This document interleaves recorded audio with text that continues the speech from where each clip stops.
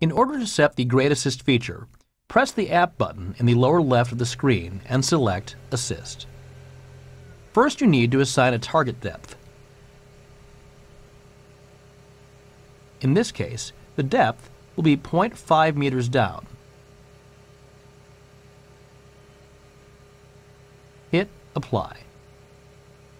Now you need to set a benchmark, and in this case, it will be at zero to the ground.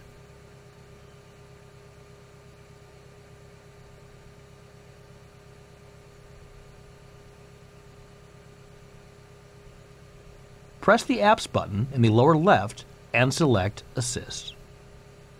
Then press the lower right menu button to select Assist.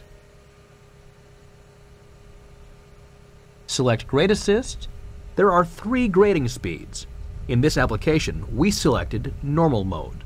Turn both Boom and Bucket Assist on and return back to the home screen.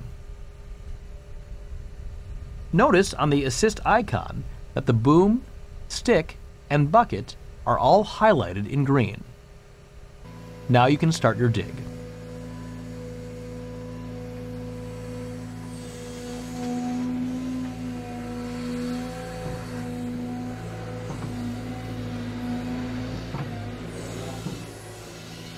As you get closer to grade, the grade indicators on the side of the monitor will turn from orange to green, and you'll hear a tone.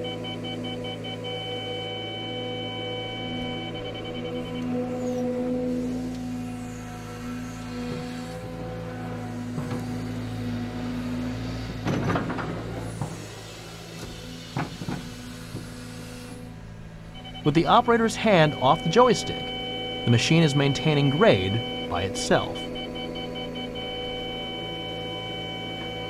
Note, at any point the operator can override the automatics with joystick control of all linkages above the desired target grade.